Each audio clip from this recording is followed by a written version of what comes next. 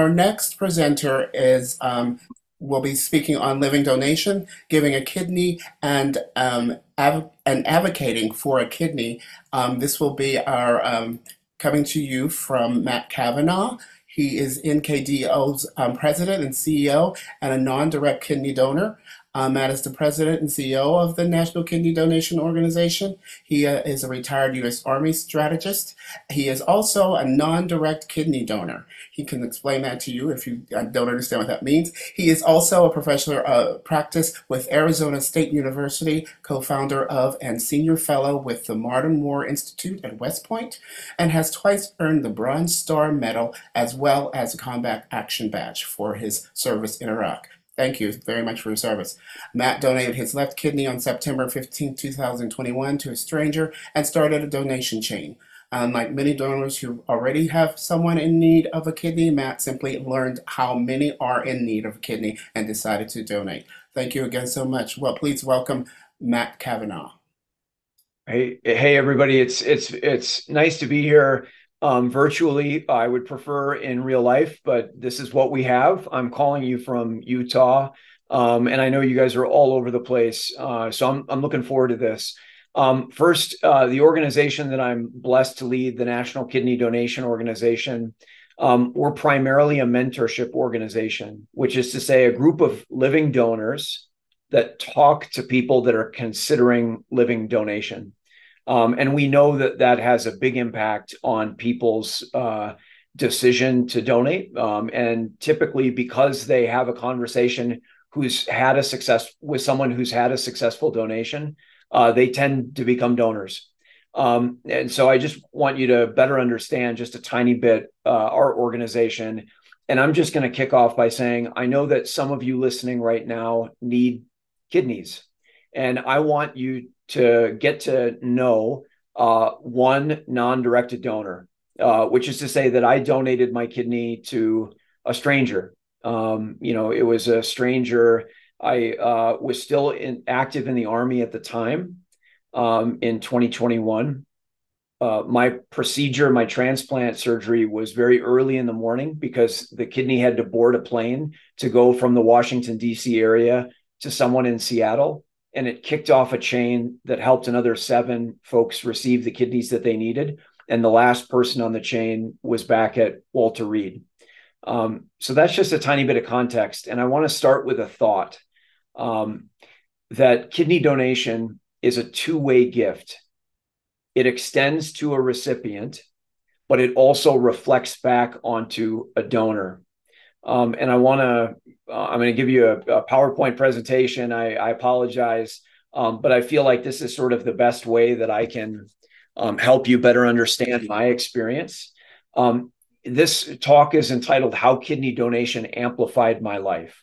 Um, and I want to start by saying I wasn't sort of dead per se, but I felt like my life had flatlined uh, before my kidney donation. Uh, Jackie Robinson, the baseball player that broke the color line in Major League Ball, his tombstone reads, A life is not important except in the impact it has on other lives. And when your life isn't having much of an impact on others, you can feel incredibly unimportant. Uh, and before my donation, that's where I was.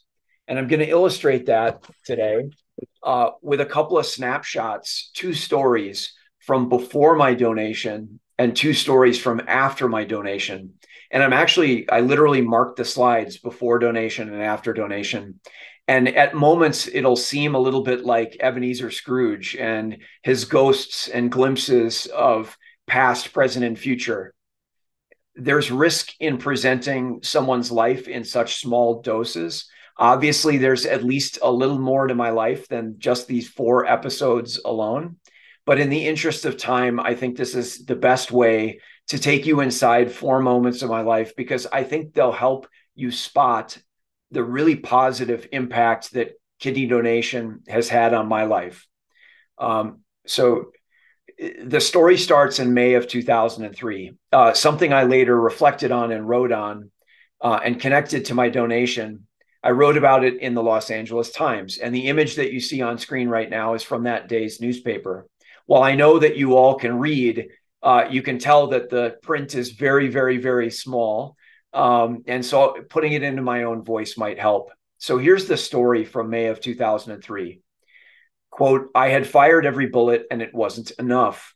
On a black night in late spring 2003, west of Baghdad, I was a single lieutenant defending our cavalry squadron's position.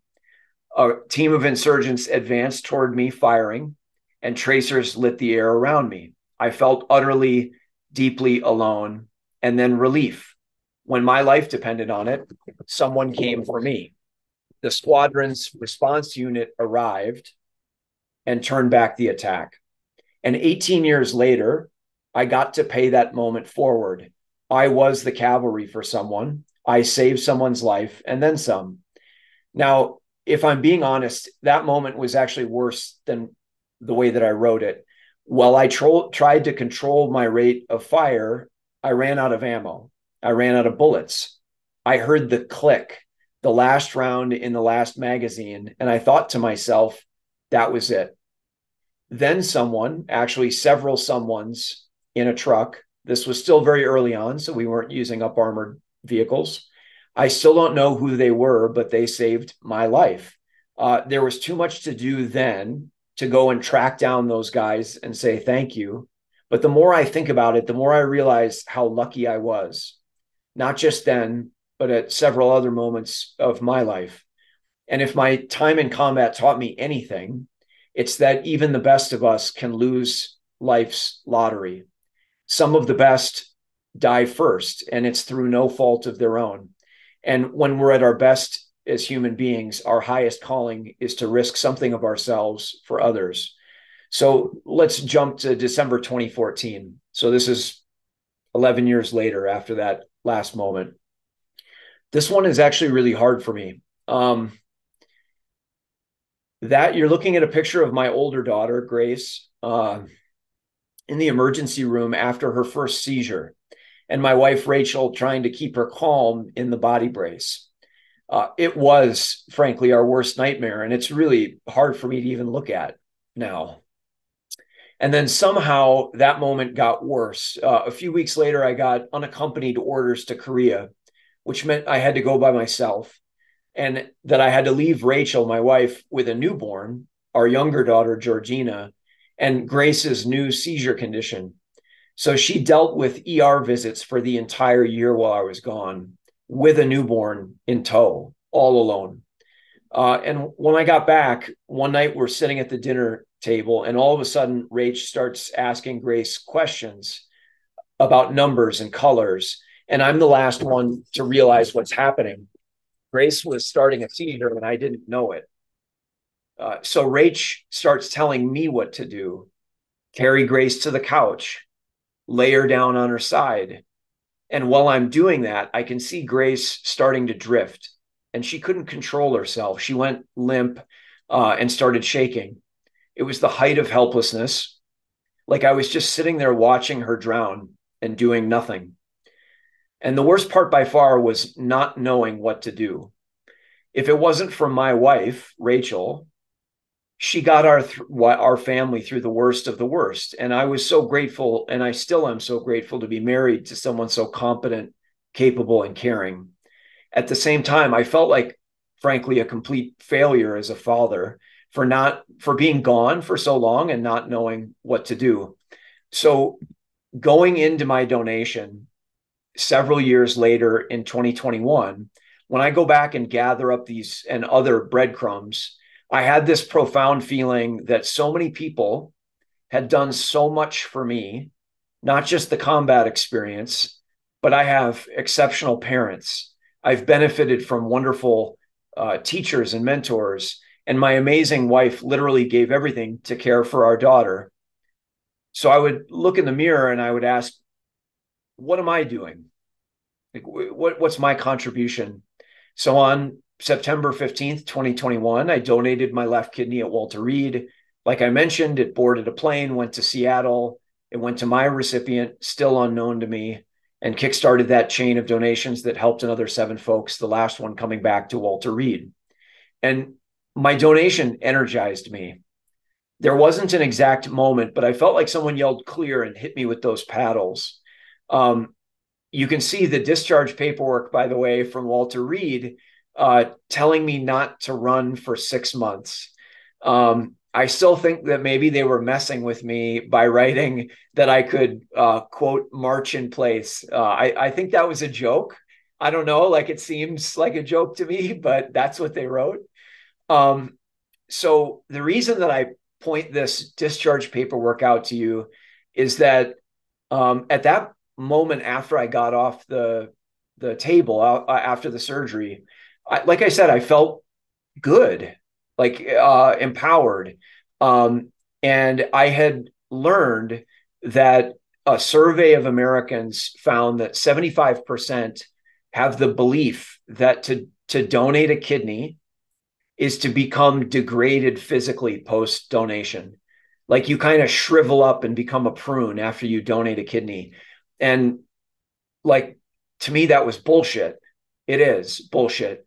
And so I wanted to show what you could do uh, after you donate a kidney. Now, when I was younger in life, I grew up kind of hating running. I, I I played hockey when I was younger. I'm from Minnesota. That's a stereotype that's accurate. Um, but later on in life, I I picked up running and uh, I learned to love it, to enjoy it. Um, and every year, uh, I I you know, in the last, I don't know, 15 years, I've done this one long race that goes six days and 120 miles total, um, about 20 miles a day. And it's supported. So, like, you don't have to carry, it's like racing six days in a row. You don't have to carry any equipment. Um, so, after my donation, I said, well, if so many people believe that you're degraded physically post donation, then maybe I ought to try doing an event that clearly demonstrates way more than I've ever done before. So what I did was I signed up for an event series called Racing the Planets Four Deserts Grand Slam. So it's four events, 155 miles each, six days each, but self supported, meaning you carry all your gear and calories in a backpack.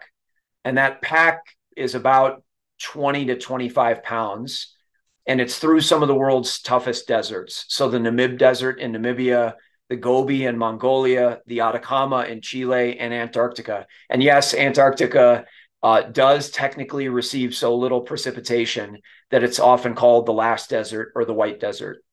So to take on that schedule would mean racing five times the amount of miles I I'd ever raced before, um, in much uh, tougher uh, weather than I had ever done before.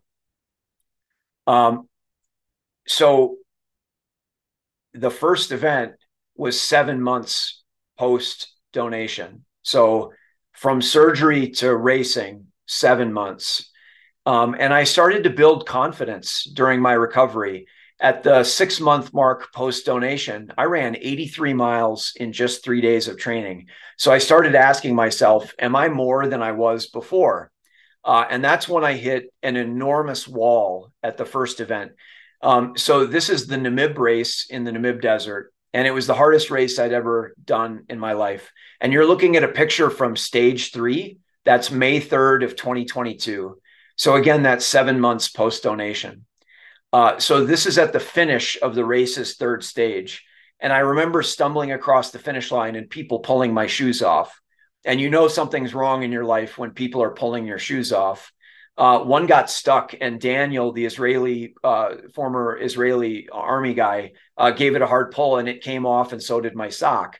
And when the shoe came up, uh, I looked up and recognized another runner who had come in ahead of me, and I tried to speak, I tried to say something, and that's when the pitcher of water uh, coated my face. Uh, they actually poured gallons of water on me to sort of cool me down. I wasn't the only one, um, because that's when a race official told me how hot it was outside 131 degrees Fahrenheit, uh, which is 55 degrees Celsius. At that moment, I knew why I was so hot. I was literally the frog uh, in the boiling pot, the last one to figure out that he was in the boiling pot. So that was the end of stage three, my third day of racing in the Namib Desert, seven months post donation. At that point, I still had 21 more racing stages to go uh, to finish the Grand Slam. Um, but, uh, you know, I, I felt like as awful as that experience was, it was empowering in that one fourth of the runners that signed up for the event had to drop out of the event due to the extreme heat.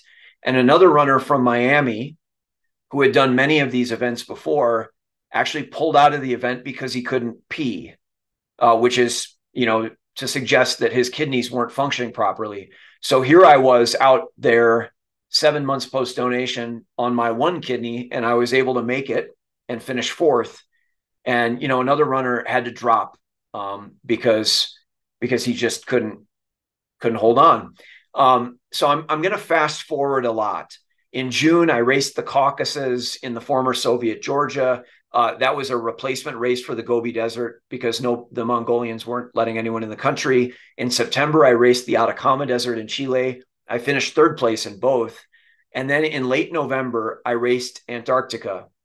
Um, it was sort of crazy. I saw a Gentoo penguin attack a Hungarian dentist, and a cop from Abu Dhabi came to the dentist's aid. So it was a sort of a bizarre experience. Um, that's how bizarre and surreal the last desert race in Antarctica was. But I I won. I won the the event.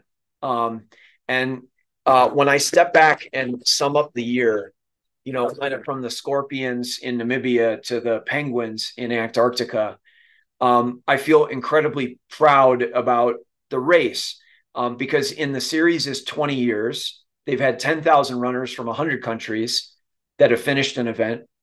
Um, 300 have joined the Four Deserts Club by finishing all the events, but only 80 have finished all the four events in one year. Um, and I was the first to Grand Slam it, to do all those events on one kidney. I won the last desert, and I'm now actually the fastest American to ever race the four deserts. So I did it. I made it. You know, a thousand kilometers of sand and sludge, rock and snow. I made it. But that stuff pales absolutely in comparison to the people I connected with along the way. So the phone call that I had with uh, legendary ultra runner Dean Karnazes, uh, known as the ultra marathon man, whose running exploits actually got me interesting interested in running in the first place. We talked on the phone, and if there was ever a moment in my life when the mic dropped, it was hearing him say that he thought that I was brave. Or imagine that you're me for a moment and you're running across the Atacama Desert, the world's highest and driest, and you're really starting to fade. And right then you get an unexpected email through the racist system from a guy in Montana who's a do- about to be a donor and he writes you are an inspiration. I hope this message gives you some strength because you have done that time and again without even knowing me. Or you're struggling to hold on to win a race in antarctica holding on with your fingernails and a 19 year old soon to be a donor writes i have been following your racing adventure for quite a while now. You have had a huge influence on me. Or Autumn, the women's champion in the series, who has multiple Ironmans under her belt. On the very last day of the very last race of the entire year in Antarctica, I happened to be nearby when she fell, and we later learned that that fall broke her hand. So there was a Japanese runner who was right behind me in that race in Antarctica. And I swear to you, I was doing everything I possibly could to hold him off. Um, so I had a choice when Autumn fell. You know, uh, do I do I just keep running to hold on my, to my lead, or do I stop? And honestly, seeing how bad the fall was, it wasn't much of a choice. I stopped. And after the race, she sent me the message that I put on screen. And it meant far more, way more to me than any bit of time I lost in that moment. So it's those small moments uh, those reminders that once you suspended self interest for the greater good that pushed me for that year. You can't stay mad at yourself for too long or down for so long when the world doesn't let you. That's the superpower I found on the other side of kidney donation. Because even when you feel like you're fading away, others always see the better in you. You are human, so you still lose it momentarily. I lose lose it all the time uh, but others remind me who I can be, who I ought to be, and they reflect it back on me when I need it most. Um, I've learned so much from this last year, from the kidney donation through running and racing across the planet. Um, you know, with with maybe an upgraded body, mind, and spirit. I've thought a lot about the experience and how it might matter to others uh, on their way to the next checkpoint. And this is the sort of some summary thought that I come to that there's so much power in giving.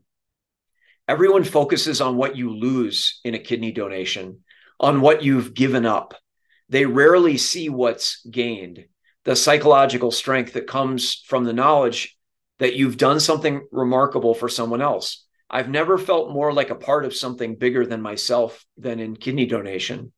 The permanent mental benefits far outweigh any temporary physical cost. Kidney donation isn't about subtraction, it's addition and multiplication. Never forget that when you ask someone for a kidney, you are giving that person a powerful gift the opportunity to be brave and selfless. And that is a very rare gift.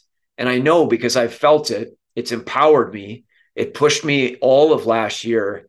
And I hope that you can see that now too. So I'm going to uh, just say thank you so much for the invitation. I know that this was a relatively short uh, talk, um, but I, I would open up the floor to any questions you might have uh, for me uh, personally or in my capacity with uh, the National Kidney Donation Organization. Great, thank you, thank you so much. You really are truly an inspiration. I, I don't run, so um, unless someone's chasing me, so but I certainly I think it's fantastic some of the stuff that you you've been able to do, um, and you're right, you're absolutely right. Um, I I hear it all the time. You know, oh, even from patients saying, I don't want to ask anybody. I don't want. I don't want. Uh, I feel that they'll be hurt by donating kidneys, even though they actually have already offered. And I think it's all. It's very important to let everyone know that you're not being hurt by by a giving. Um, and as you said, it, it is it is worth giving, and um, it's very important. You should you should know, by the way, my uh, uh, senior figure in our organization um, also a non-directed donor in in the state of the great state of Illinois. Reminds me, uh, Matt. Uh, I just run errands. I don't run. I run errands. Um, you know, but uh, and and donors are everybody. You know, donors. We have librarians. We have gardeners, chefs, uh, cops, firefighters. Um, you know, uh, I just happen to be a runner. That's mm-hmm. my sort of thing. Right. Um, but you know, donors are everybody. So absolutely. Does anyone else have any questions for Matt? Matt, I am I'm Cher and I'm with the Renal Support Network. Nice to meet you. My husband was an army guy as well. So thank you for your service. Lori and I, Lori Hartwell and I are both the beneficiary of living donors, living related donors. And I've known people, I've been fortunate enough to know people that have done um, a non-directed donation right? And they've found it very rewarding. If someone in the audience was going to talk to somebody about that um, how do you start the conversation? What do you say? So i've never been in that position. Um, so i'm i'm obviously I, I, it's it's almost like a nun teaching sex ed um, except to say that uh, I know that there are people, a lot of more people out there that are willing to donate than than you think, and you never you'll never know who might say yes. Um, my organization uh, has uh, three thousand members, over a thousand of which are living donors, and I, I assure you, those thousand of people, those thousand people, uh, the closest thing to a common thread that we have is that most of them are also blood donors, but they walk every walk in life um, I, I meant what I said. Some of them are runners, most of them are not. Uh, they do they do anything and everything, and so I would I would hold it in your mind that uh, you will you will never know who might say yes until you ask the question. So there's always the possibility of a yes on the other side. And the second thing that I would emphasize is that um, it's a gift to ask the question that the donor receives just as much as the recipient. it has been a, a powerful. Uh, it's been like a second wind in my life, and I, I like I mean that every ounce of it. So. I can't agree more. I know my brother was, um, he always told people how, what a gift it was. He wanted to help me some way. And so I would really like for people in the audience today to really take that with them that it is scary asking. It was the scariest question I ever asked. But, you know, it really is a gift to someone to give them a chance to help you. And this is a unique way of helping somebody. So, Matt, thank you so much uh, for your presentation today. I think that you have inspired us all, not just in donation, but in your physical recovery and your physical abilities and um, your dedication. Fantastic. Thank you. Thank you, everybody, for your time. And, and uh, uh, please feel free to reach out if there are any other uh, questions on down the line. I look forward to uh, you know seeing more of the the week. What a what a great week for hope. And a shout out to our corporate mission partners for making this happen.